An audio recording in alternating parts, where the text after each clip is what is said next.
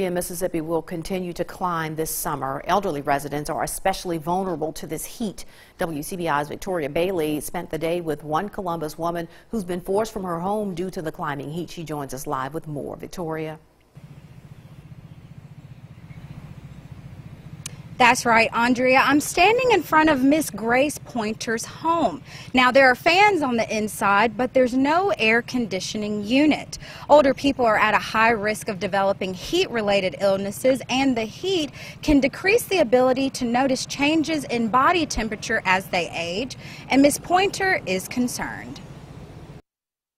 At night, the fans did cool down, you know, but yet and still, I need the air during the day when I was going through chemo and radiation. I did need that. It get hot, and then when we walked in, it was like you was walking in a sauna. Miss Grace Pointer has cared for Martha Gordon her whole life anytime she was sick. Now, Gordon is ready to take care of the woman who has shown her so much love over the years. We went to a home to visit her as church members, me and some old members, and we realized that she didn't have any air.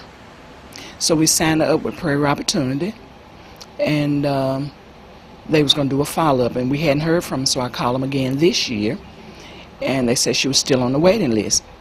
So she still doesn't have any air. Pointer says summers are always tough, but it feels as though it has been hot all year long. It was hot on the 15th of February. It was pretty warm, and that's when I really got sick this time. When I needed uh, air, my oxygen level had dropped, and I was couldn't sleep that night. So the next morning, her son came pick me up and put me in the car and took me to the emergency room. That just I was sick and hot. I had got in the house. After that, the elderly Columbus woman had to move. She's on oxygen 24/7, and uh, she's a senior citizen. She lives alone, but now she's with her sister until we try to find some air for. Pointer says most elderly residents, like her, are on a fixed income and can't afford a large air conditioning unit. While she feels blessed to have the help that she does, Pointer hopes this story will help others. You know, elders, you got a lot of elders out there need help.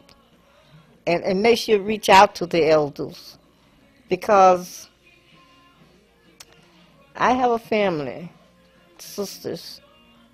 I got three sisters here. And all of them got air, but see, if I need to go to there, I have somewhere to go. But a lot of people don't have anyone.